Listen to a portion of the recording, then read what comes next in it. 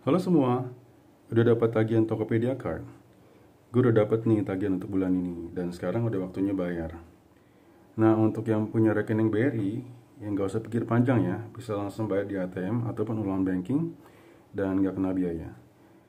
Tapi masalahnya untuk yang gak punya rekening BRI kayak gue, um, pembayaran kredit card itu operasi transfer antar bank ya. Jadi otomatis dikenakan biaya Rp6.500 di ATM ataupun online banking.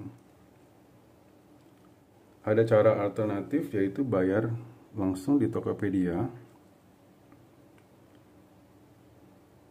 dan itu dikenakan biaya Rp4.000. Kalau kamu kebetulan ada saldo GoPay yang mencukupi, jadi bisa bayar pakai GoPay nggak ada tambahan biaya. Tapi kalau saldo GoPay nggak mencukupi, harus top up lagi kan? Dan harus bayar lagi biaya seribu rupiah.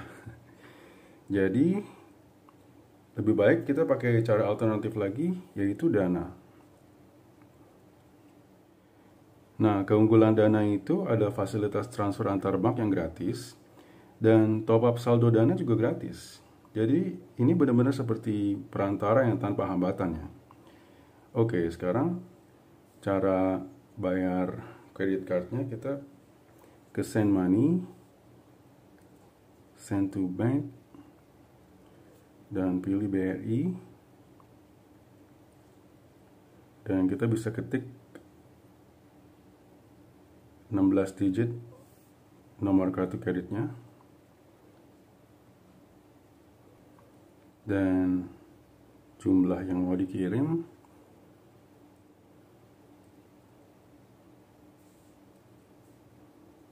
Oke.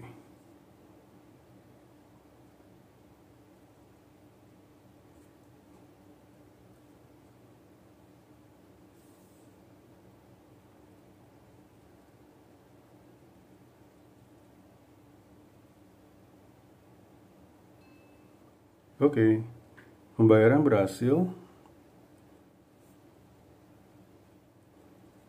Nah, sekarang kita cek di Tokopedia lagi apakah hasilnya instan atau harus tunggu ya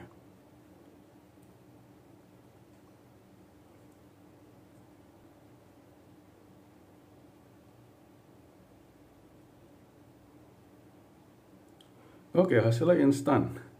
Jadi langsung pembayarannya tersambung ke Tokopedia. Sekarang berarti limitnya udah reset ke limit awalnya 13 juta ya. Oke, sekian dulu dan sampai jumpa di video selanjutnya.